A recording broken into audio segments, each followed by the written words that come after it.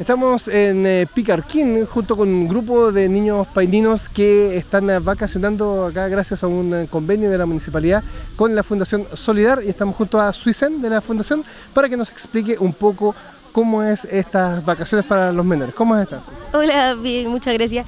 Eh, bueno, las vacaciones de los niños constan de, primero, las cuatro comidas diarias que nos da Junaev y actividades durante todo el día, distintas. Tenemos, por ejemplo, hoy día piscina toda la tarde, vinieron de la municipalidad a darnos sandía para refrescarnos.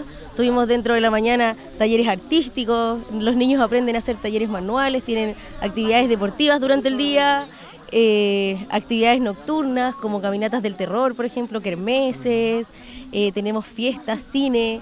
Entonces, cada una de las actividades está diseñada directamente para cada una de las edades de los niños que, que nos encargamos nosotros. Bueno, y la palabra de los muchachos es ley, así que vamos a preguntarles cómo les ha ido en, este, en estas vacaciones. ¿Cómo está? ¿Tu nombre? Ah, Benjamín. ¿El tuyo? Francisco Quiroga. ¿El tuyo? Hans. Hans. ¿Y el tuyo? Kevin. ¿De qué sector son ustedes o de qué escuela son ustedes? Yo soy de Paine, ¿De qué sector de país? eh, de Villa La América, pasaje Cristóbal Colón.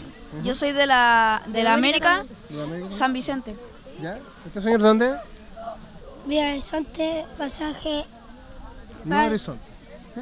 ¿Y usted? ¿Y usted? de la Cantillana. De la cantilla. ¿Y cómo lo han pasado hasta el momento? Yo le he pasado bien. ¿Sí? Bien, ¿Bien también? bien porque Bien. Bien porque hacen ¿Te, gustan las actividades que hacen acá? Sí. ¿Qué es lo que han hecho, por ejemplo?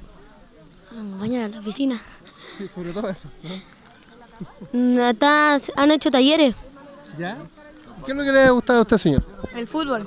Ya estamos con eh, Claudia Moreno, educadora de la OPD, la Oficina de Protección de los Derechos de la Infancia y la Adolescencia de nuestra municipalidad, para que también nos dé una evaluación de lo que ha sido esta y otras actividades anteriores al respecto. ¿Cómo estás, Claudia?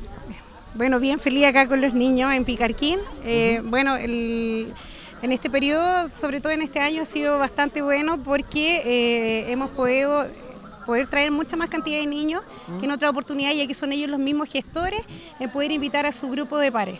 Eh, La experiencia, por lo menos ahora, ha sido masiva. Han venido alrededor de unas 130 niños, comparado con la primera vez que vinimos 60.